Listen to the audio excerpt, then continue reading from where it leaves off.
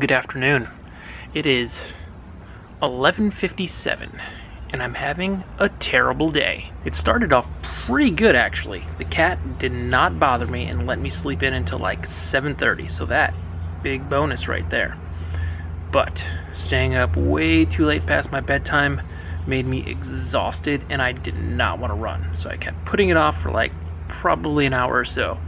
I get dressed, I go to walk outside. It's freezing. I can see my breath.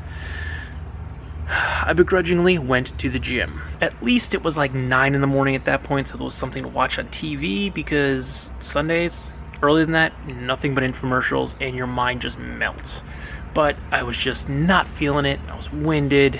I had to drop the treadmill like 6 miles an hour for like half the run, which I never do. I don't remember the last time I did that. That was just. it was disheartening to say the least. On top of that, my right calf was all cramped up from standing in like the same spot on a concrete slanted floor last night for a couple hours, so that felt great. But we got through it. We came home. And then this yard here, you see behind me? Yeah, it hadn't been cut because it rained all last weekend. And now, now it looks nice outside. So, I'm gonna cut the grass. I'm already sweaty from the gym. Perfect shape to cut the grass lawnmower starts to die on me. So now my buddy JT has to fix my lawnmower. Stalled out a few times. Managed to kind of get it cut. It's sloppy, but it's done and it looks way better than it did. Enter the next bad thing that happened to me. I pushed the lawnmower to right about this spot here, and Oliver, excited, came running over, plopped down next to the lawnmower, wanted me to rub his belly. I go to sit down, and I wasn't being aware of my surroundings, I touched the uh, exhaust on the lawnmower, and uh, yeah, it, it's not terribly gross, but there is a massive blister, pretty much the whole size of this band-aid on my finger right now, and my entire finger hurts. that sucked. It was like instant too. I, I feel like my hand was there for less than a second, and it's burned it blistered up right away, so hopefully that means it'll fill with fluid. I can pop that and drain it and dry it out and be done with it in a week or less. So needless to say, I'm not in the greatest of moods right now. But it could have been worse. The last time I burned my hand it was actually this pinky and it was like all through the joints. That was like rope burn, well it was leash burn. We were at the lake on two 4th of Julys ago or so and Oliver tried to run and I just had the leash sitting there because we were all of us were just chilling in the grass in the shade, just hanging out, drinking some beers, relaxing, talking, and I grabbed the leash and it just ripped through my hands. That took forever to heal. I mean, like the skin was pretty much all healed up after about a month, but it, it like hurt and felt weird for like probably three to four months, probably because it was in that joint and it just took forever. So that could have been worse. This, not in the joint, Bonus is JT is coming over Thursday to try to fix both my mower and my parents' second mower. So hopefully by the time I gotta cut my grass next weekend, lawnmower works again. So last night I put all of the video I shot yesterday on the timeline. Just wanted to get it set up so on lunch today I can bang out an edit real quick. And you know what? I didn't like any of it. I mean, this little clip was kind of funny.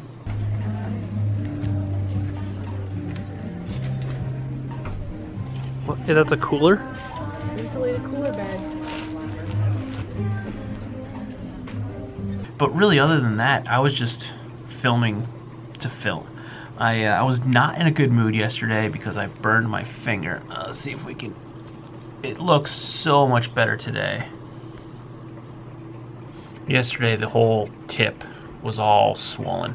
And actually today, it really doesn't hurt at all. It just feels really weird. And it, it almost feels like when you're a kid, did you ever put Elmer's glue on your hand, let it dry, and then like peel it off because it that felt cool and it looked cool? That's kind of what it feels like. I feel like I have Elmer's glue on my skin, except I could feel the fluid squishing underneath. I know that sounds a little gross, but it's uh, it's definitely an interesting feeling. But yesterday, the whole tip was all swollen, and literally the whole finger hurt pretty much all day, and I was exhausted. So I Needless to say, I had no motivation. I was not in the mood to do anything. So I just kind of, after a while, I even just stopped filming. It was just, it wasn't a fun day. It was Mother's Day, so we did go see my mother. We went to see my mother-in-law.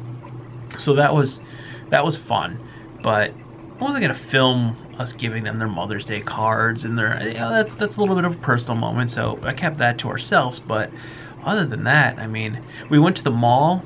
Uh, Amy got a nice rain jacket for our trip to London, and I wanted to get a new one too.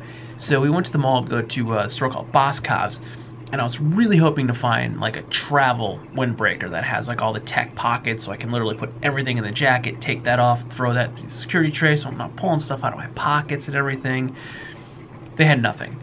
But if you've ever watched uh, Dan Bell, he does this series called The Dead Mall, and I think he may have actually been to the mall at Steamtown at one point.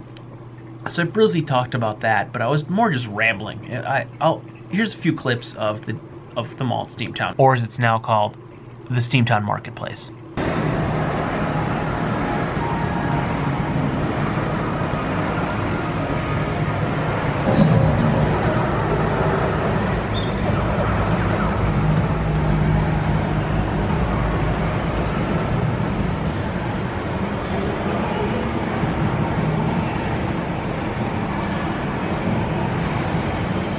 Yeah, it's pretty dead now. Like the one side of the mall with Boscov's pretty much still has a bunch of stores, but the other end of the mall, that's pretty much completely dead. There used to be a Bon-Ton there. That was the anchor store, and that went out of business years ago. And I think they did a Scranton Marketplace in there once or twice, but now Luzerne County Community College uh, put a satellite campus in the top level of what was uh, the Bon-Ton, and there's upstairs. There's also like a, I think it's like a gymboree or something. It's like a kids playland that apparently does really well. But that's really like from more than half of the mall down. That's that's pretty much all that's there. There's like a wig place and like a GNC, but like that mall is dead. Starbucks and Boscov's are the only two stores there that probably make any money.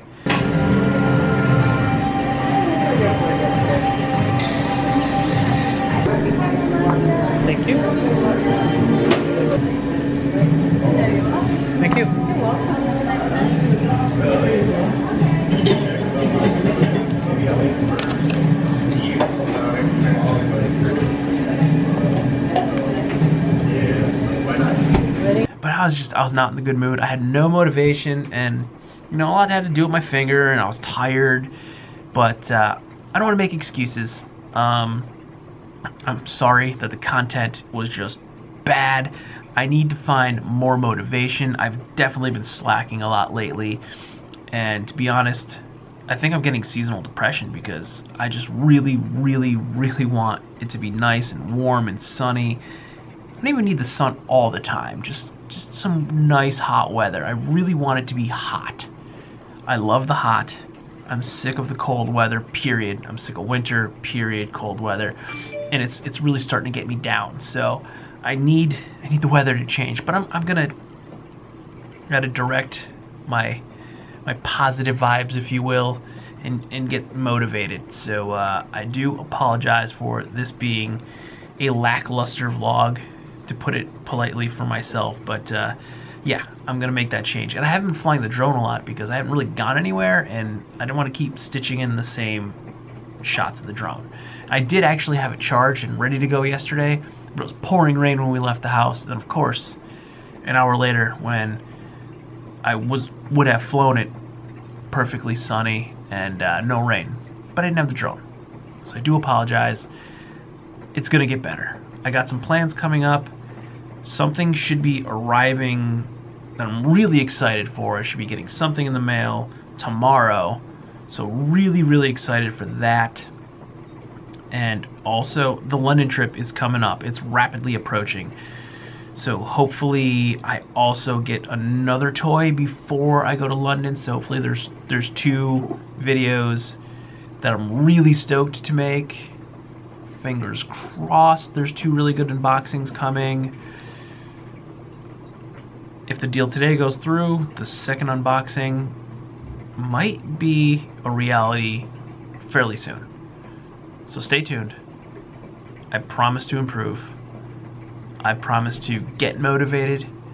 It's going to be 90 degrees on Thursday, so I'm pretty stoked about that. Just thinking that it's going to be like 90 degrees and it's going to be like 88 degrees on Wednesday. It's cold today, but on Wednesday and Thursday, it's going to be really warm. Just thinking about that is getting me excited. So it's going to take a turn for the better. So stay tuned. And with that, I will see you tomorrow morning at 8 a.m. for your next video. Good night.